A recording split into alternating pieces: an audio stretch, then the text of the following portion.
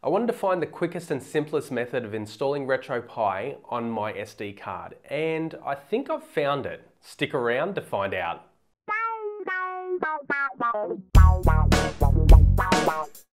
So RetroPie for the Raspberry Pi allows you to play arcade and console games on your Raspberry Pi. Pretty simple really, but what I wanted to find out was the simplest way of installing it without any bloat or anything like that, just so it gets on there and it runs. With that said, let's jump over to the computer. Okay, so the first step is to go to retropie.org.uk.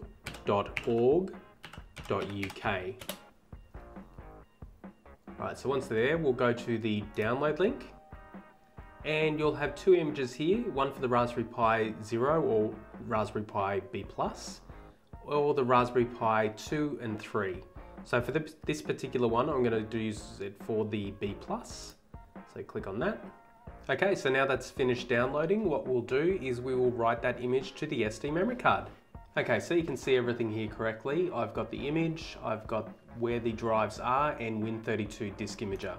If you don't have Win32 Disk Imager already, then I've provided a link down in the description, or if you click on the little eye up in the top right hand corner, then you'll be redirected to my blog post. Okay, so now that we've done that, we'll select the image file which is under RetroPie, that one there. Now the device, at the moment it's set to F, which is not a good one. We want to set it to Z, so set that to Z. And the only other thing that you've got to do is click on write. So we'll click write and we'll continue, yes. Now this will take a little while, so I'll speed up this and we'll be back in a sec. Okay, so the write was successful, so we'll hit OK. We'll exit out of Win32 Disk Imager and we'll eject our Z drive and we'll go over to the Raspberry Pi. So now it's on the SD card and that's pretty much it. But I'll jump one step further and I'll show you how the install process goes on the actual Raspberry Pi itself. So let's jump over to the Raspberry Pi. Okay, so the first thing it's going to do when you boot up is resize the file system. So this just means that you get a little bit of extra space out of your memory card. And we'll speed this up just a little bit.